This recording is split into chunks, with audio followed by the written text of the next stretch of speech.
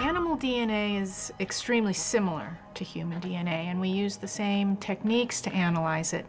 And this is used in human DNA. The same types of DNA tests, same types of equipment, same types of chemicals. Unfortunately, this hair was shed. It detached naturally from the root, which means not enough tissue or cells remain. The root is the only living part of a hair and the only part that contains nuclear DNA. However, the shaft of a hair is composed of dead cellular debris, including hundreds of thousands of partial DNA profiles called mitochondrial DNA. The hairs were about an inch and a half long, so we actually only used about mm, half an inch of the shaft of the hair and uh, did our mitochondrial DNA testing on that.